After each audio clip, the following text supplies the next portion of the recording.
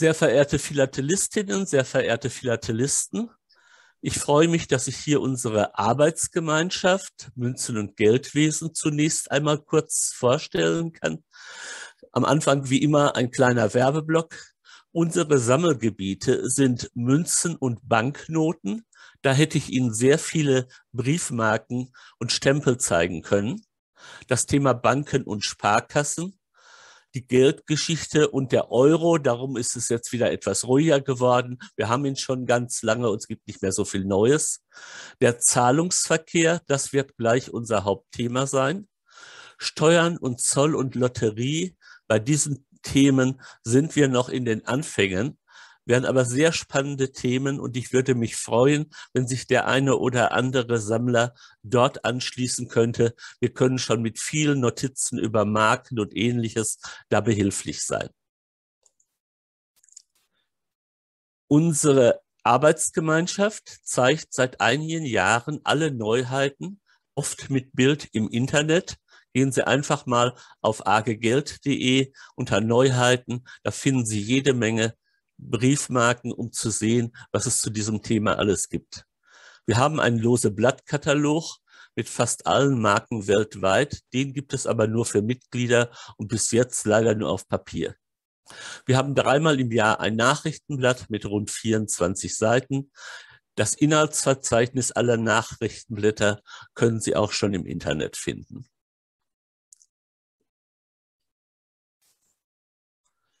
Das heutige Thema Bargeld, Buchgeld, Kryptomoney.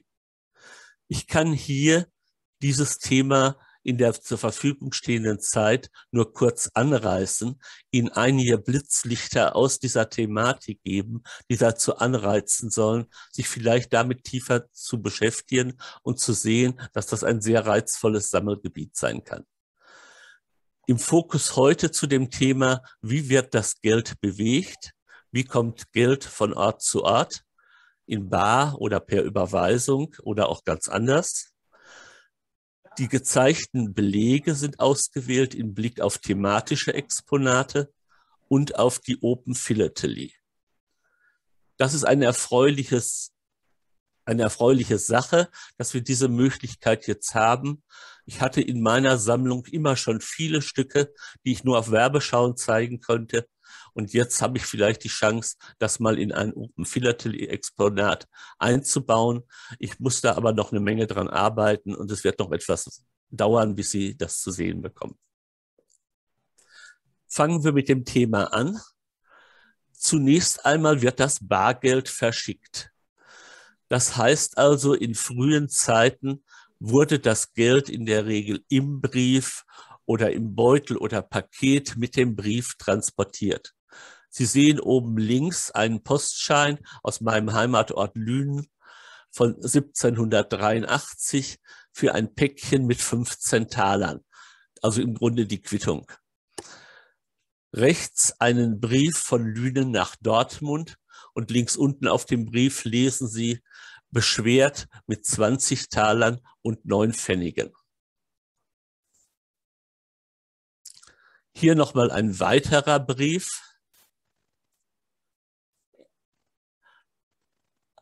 ein Beutel mit 81 Talern, 19 gute Groschen und 4 Pfennig.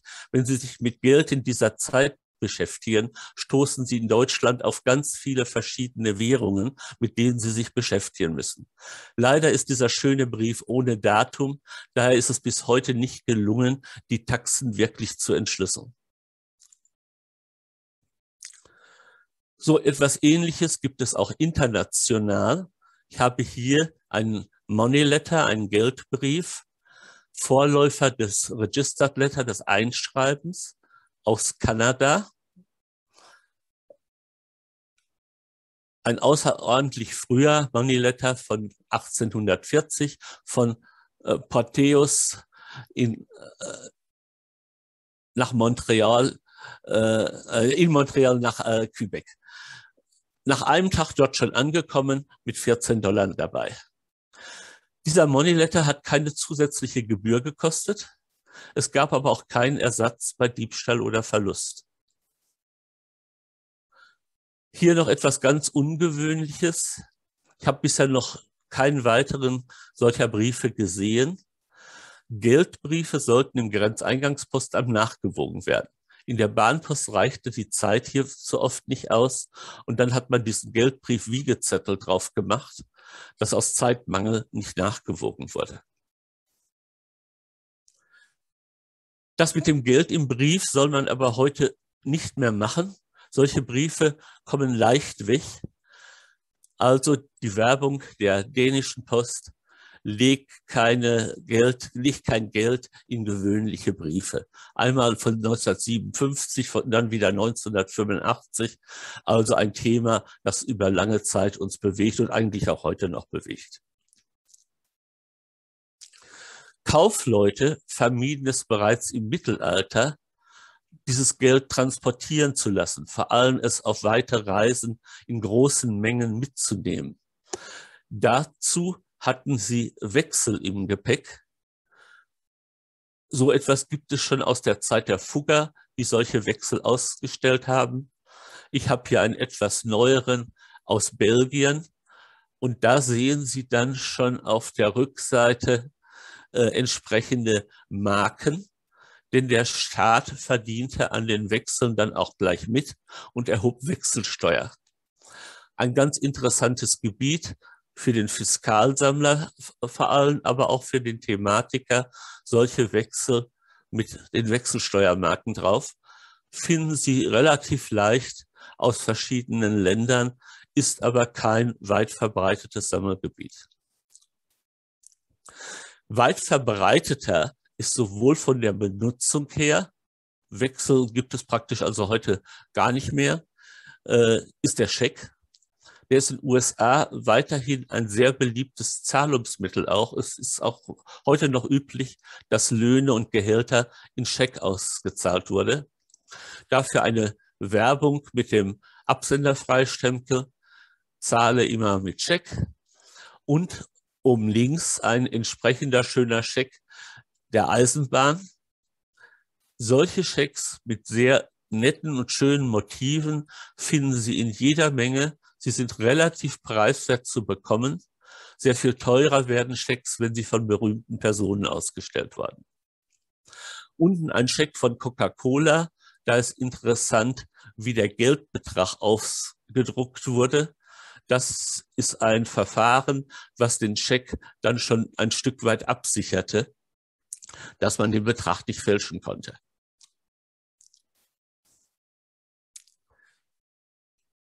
In Deutschland war bei den Sparkassen der Scheck in hellgrün über viele Jahrzehnte die übliche Form des Schecks, des Barschecks. Oben auf dem Scheck ist die Kontonummer in kleinen Löchern eingestanzt.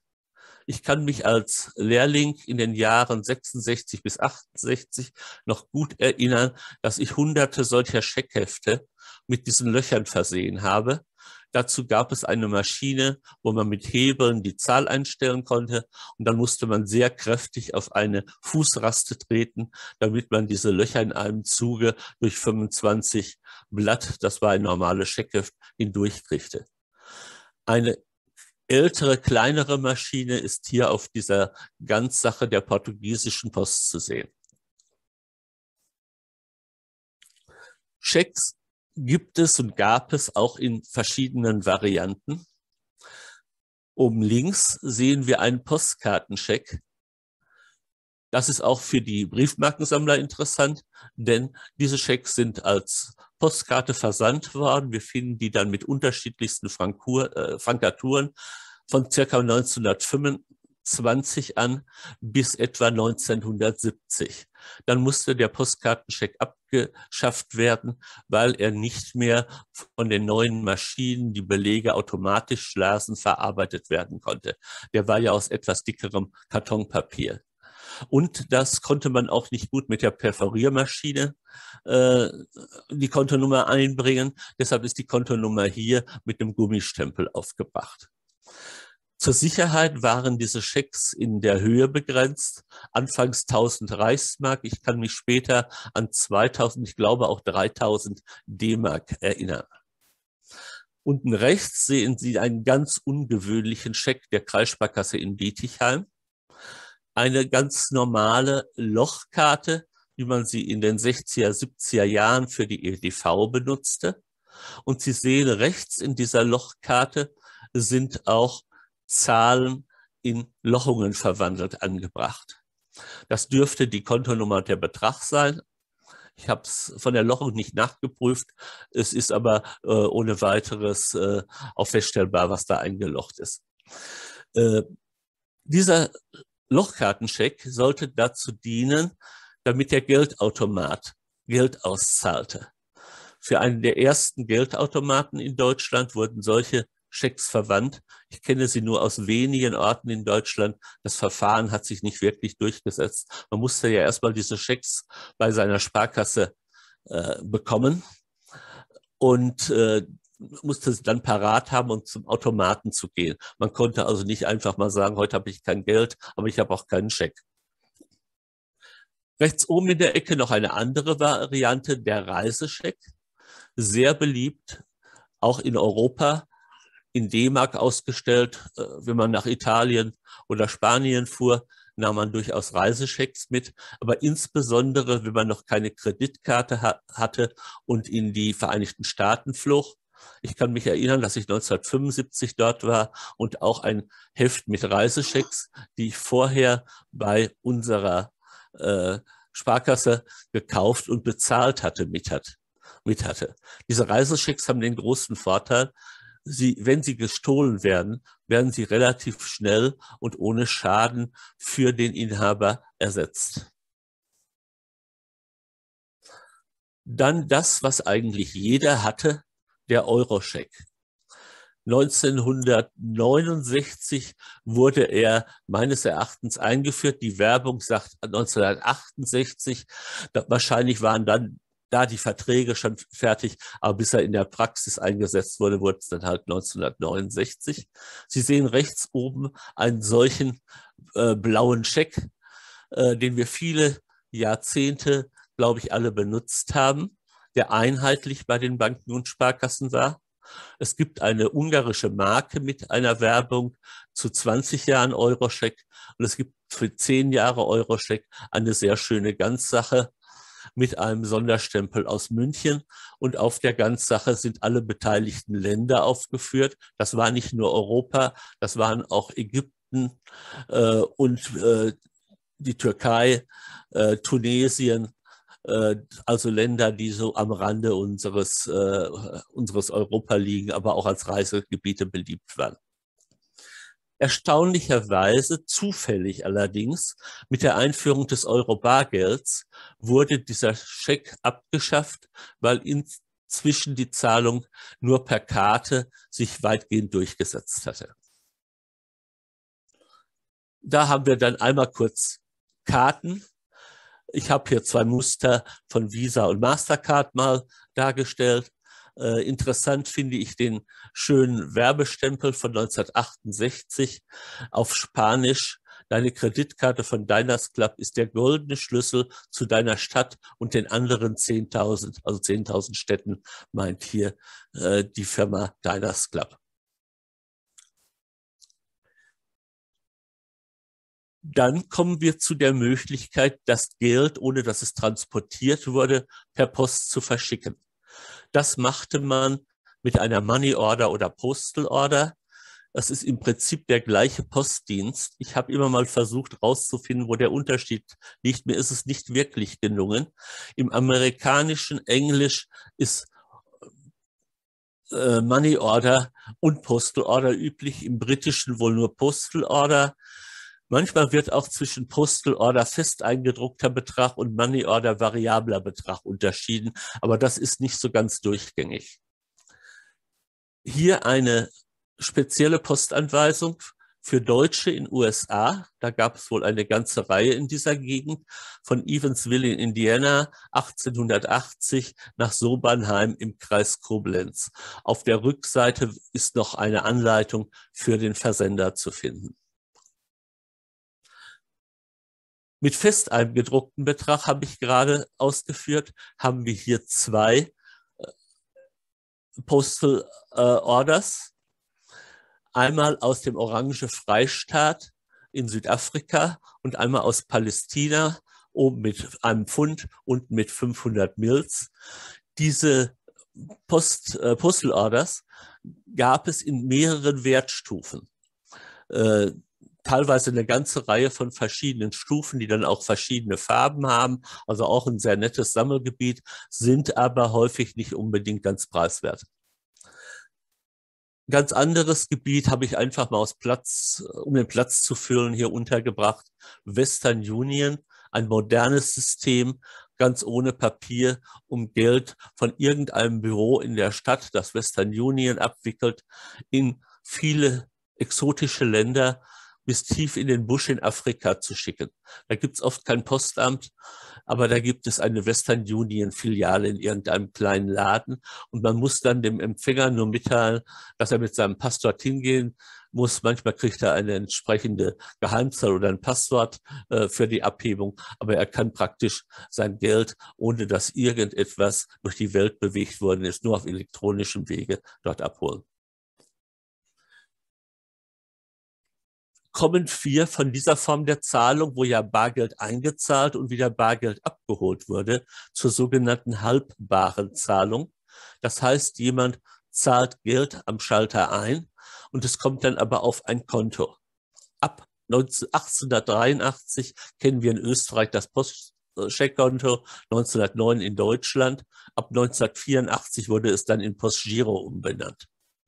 Ab 1909 gibt es den Spargiroverkehr der Sparkassen. Wir haben uns erlaubt, den Begründer, den Bürgermeister Johann Christian Eberle der Stadt Nossen in Sachsen, auf einer österreichischen Briefmarke darzustellen. Damals gab es noch keine deutschen Marke individuell, deshalb haben wir die österreichische genommen.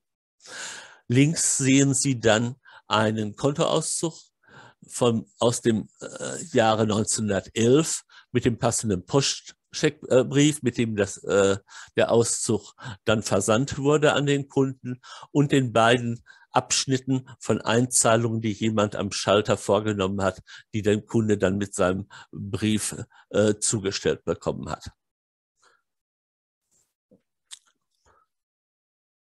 Diese rosa Karten nenne ich sie mal, das ist so ein Papier zwischen dünn und Postkarte, äh, habe ich gefunden, weil interessante Werbestempel der Sparkassen drauf sind. Ich habe dann versucht, mich mal näher mit dem Zweck der äh, Karten zu beschäftigen. Sie dienten am Schluss dazu, dass der Empfänger per Post benachrichtigt wurde, es ist Geld auf seinem Konto eingegangen. Eigentlich muss es aber hier noch ein anderen Teil des Belegs geben, der bei der auftraggebenden Sparkasse in der Buchführung äh, blieb. Diese Teile habe ich bisher aber nicht finden können, bin zurzeit im Kontakt mit dem Deutschen Sparkassen- und Giroverband, um dieses Thema mal näher zu untersuchen. Kommen wir zu einem anderen Gebiet, dem Einzug von Geld man will ja manchmal auch Geld nicht überweisen, sondern man will es von anderen Leuten bekommen. Zum Beispiel, weil man die Zeitung geliefert hat und möchte das Geld, äh, möchte das Geld vom Empfänger einziehen. Von 1782 bis 1848 war in Preußen dafür der Postvorschussbrief üblich. Sie sehen einen links oben in der Ecke von 1812 von Dortmund aus wurde das Geld in Münster eingezogen, und zwar drei Franken 14. Dortmund war damals Herzogtum Berg, also auch französisch. Münster war von den napoleonischen Truppen besetzt. Das hat dann den Empfänger 4 Franken 10 gekostet. Da sind dann die Gebühren für den Einzug des Geldes und für die Übermittlung des Briefes drin enthalten. 1848 wurde dann der Stempel Auslagen eingeführt. Dieser nierenförmige Stempel, den gibt es in ganz vielen Varianten, ist auch für die Postgeschichtler ein interessantes Sammelgebiet. 1874 wurde der Stempel dann durch den rosa Zettelauslagen ersetzt.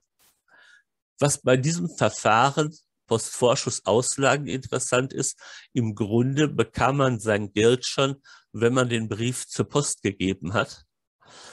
Und die Post zog es dann später vom Empfänger ein. Das änderte sich 1878. Dann wurde das Verfahren durch die Nachnahme, die wir im Prinzip heute noch kennen, ersetzt. Hier ein Nachnahmebrief aus Bonn in die Schweiz von 1884. Der Nachnahmebetrag steht handschriftlich auf diesem äh, violetten Nachnahmezettel. Später wurde dann dieser Dreieck hier Zettelnachname eingeführt. Der ist hier in die Postkarte schon eingedruckt. Die Firma Vogt und Wolf hat also relativ viel Geld wohl mit diesen Nachnamen eingezogen. Interessant ist an diesem Beleg, dass die Firma Vogt und Wolf auch ihre Marken noch zur Sicherung der Portokasse mit Firmenlochung FW versehen hat. Kommen wir zum letzten Thema, der Kryptowährung. Den ersten Beleg, äh, wo ich etwas mit Kryptowährung gefunden habe, äh, ist dieser Block von Gibraltar. Ich besitze leider keinen im Original.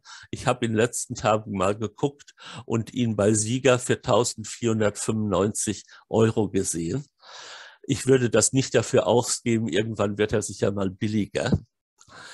Jeder, der diese vier identischen QR-Codes an der Seite neben der Marke mit einem Smartphone gescannt hat, konnte als Erzbesitzer dieser Blöcke äh, dieses Kryptogeld, was damit verbunden war, äh, sammeln. Also auf jeder Ecke 50 QRG, eine sehr ungewöhnliche Kryptowährung, die wohl nur von Gibraltar äh, verbreitet wurde.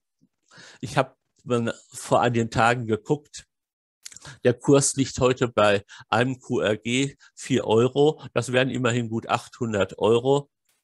Deshalb wäre verständlich, dass die Blocks heute noch mit über 1000 Euro gehandelt werden. Nur ist die Frage, wenn man so einen Block bekommt, ist das Geld noch auf dem Konto? Äh, Komme ich da überhaupt noch dran oder hat das schon der Vorbesitzer gemacht? Also eine bisschen heikle Geschichte, wenn man sich da aus Geldgründen mit beschäftigen will. Auf Wikipedia, äh, in Wikipedia finden wir eine Liste mit aktuell 100 Währungen, mit vielen Abspaltungen. Eine Währung hat sich dann in andere aufgeteilt. Äh, die Marktkapitalisierung bei diesen Währungen ist sehr unterschiedlich. Der Bitcoin ist, und das ändert sich natürlich relativ schnell und häufig, etwa mit 1,1 Billionen äh, Euro am Markt. Der ESA oder ISA, äh, das ist die Ethereum-Währung, die wir auch bei den österreichischen äh, Marken nachher noch finden, etwa mit der Hälfte. Dann geht es deutlich nach unten. Binance Coin 75 Milliarden. Der Tether oder Teaser, keine Ahnung, wie der sich ausspricht, 69 Milliarden. Diese Währung hat den Unterschied, dass sie nicht im Kurs groß schwankt, denn sie ist eins zu eins an den US-Dollar gekoppelt. Die weitere danach habe ich mir geschenkt, denn danach geht es deutlich mit der Bedeutung nach unten. Ganz wichtig für diese Kryptowährungen ist die sogenannte Blockchain. Blockchain ist also eine Chain, eine Kette von Blocks, von Datenblocks, die auf verteilten Computern gespeichert werden. Und wenn eine Transaktion äh, vorgenommen wird, wenn Geld im Grunde überwiesen wird, dann wird das auf mehreren Computern gleichzeitig vermerkt und das soll die Sicherheit dieses Zahlungssystems darstellen. Äh, Russland hat im letzten Jahr eine, nein, noch in äh, diesem Jahr, wir sind ja noch in 2021, eine Briefmarke veröffentlicht, wo diese Blockchain dargestellt sein soll. Das ist die Karte der Russischen Föderation und äh, darauf diese pixelartigen Zeichen äh, sollen also die Daten in der Blockchain darstellen. Von der österreichischen Post kennen Sie sicher alle die ersten Kryptomarken. Ich habe hier eine noch mit dem Zuen Ruppelfeld äh, links in der Ecke abgebildet. Die daneben ist wohl aus dem Prospekt. Das sieht so aus, als wenn die Rubbelfelder geöffnet worden wären. Und diese Marke gibt es mit dem Einhorn in fünf verschiedenen Farben. Das sehen Sie der Marke aber im Original zunächst nicht an. Sie müssen damit ins Internet und dann können Sie gucken, welche Farbe im Grunde Ihre Marke hat. Das ist ziemlich wichtig für den Wert, denn die ganze Marke hat 150.000 Stück Auflage, aber von der roten gibt es nur 1.500 und so ist die ziemlich teuer heute am Markt. Auch hier denke ich ein Thema, das man mit großer Vorsicht angehen sollte. Äh, ich befürchte, dass es irgendwann wie bei den Telefonkarten ist, dass der Hype der Kryptomarken, ich meine nicht der Kryptowährungen, das ist ein anderes Thema, dass der vorbei ist und dass dann die Marken auch wieder zu zivilen Preisen zu haben sind. Damit bin ich ans Ende des Vortrags angekommen. Zum Schluss hier noch zwei Kryptomarken aus Kroatien.